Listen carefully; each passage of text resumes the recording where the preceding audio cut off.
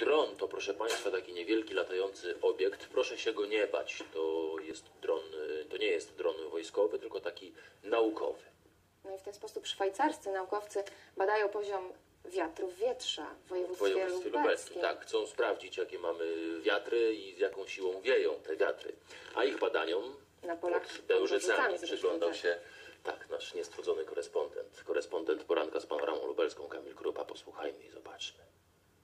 Urząd Marszałkowski szuka wiatru w polu i nie jest to żart, rzeczywiście go szuka. Obok mnie Artur Habza, dyrektor Departamentu Gospodarki i Innowacji Urzędu Marszałkowskiego w Lublinie. Panie dyrektorze, co pan trzyma w rękach?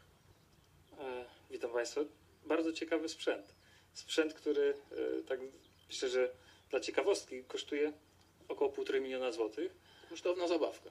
E, Jest to kosztowna zabawka, bo, mm, ale przy okazji zabawy można bardzo ciekawe rzeczy, e, bardzo ciekawe czy- rzeczy zbadać. I tutaj właśnie e, trzymam drona, który jest własnością Instytutu e, z Zurichu, ze Szwajcarii.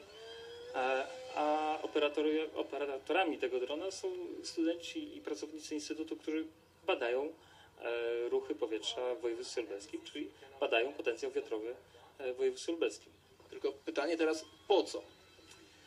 E, Od jakiegoś czasu Urząd Marszałkowski i w ogóle władze województwa dbają o to, żeby, żebyśmy mieli alternatywne źródła energii i, nie tylko mieli, e, bo ten potencjał jest. I tutaj mówimy o wietrze, który jest jednym z elementów odnawialnych źródeł en- energii, e, ale chcemy mieć również dane, które zainteresują potencjalnych inwestorów. Czyli przychodzi inwestor, pyta, gdzie u was najsilniej wieje, a tu i tu. Przychodzi inwestor i, i na pewno właśnie na, na, na pytanie, które właśnie Pan zadał, e, odpowiedź jest taka. Mamy dane, mamy y, dane, które są wiarygodne, ponieważ Instytut, z którym współpracujemy, jest jednym z- z najlepszych w Europie. E, dane, które pokazują, jaki jest potencjał, jaki jest, e, jakie są możliwości, nie tylko pod względem e, takim przyrodniczym, czyli jakie są, jaki jest potencjał wiatrowy, ale również dane te zestawione z mm, możliwościami, z pewnymi e, instrumentami ekonomicznymi. Mówimy tutaj o technologiach, które mogą być zastosowane, o możliwościach uzysku tej energii i oczywiście o tym, ile się na tym da zarobić.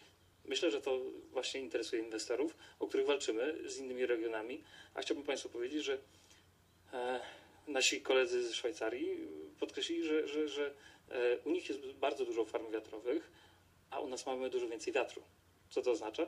Ten potencjał inwestycyjny jest naprawdę duży. Bardzo dziękuję. Urząd Marszałkowski chce wyznaczyć 10 takich lokalizacji, w których wieje, można powiedzieć kolokwialnie, najbardziej i bazując na tej mapie przedstawiać ją inwestorom. Pomiary wciąż trwają.